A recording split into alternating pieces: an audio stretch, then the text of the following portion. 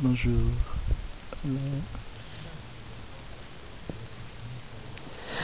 Bébé parle. C'est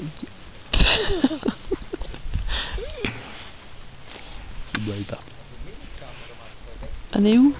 On est à Lake Titicaca, en Bolivie, où on attend le coucher du soleil, parce que nous avons une journée très occupée.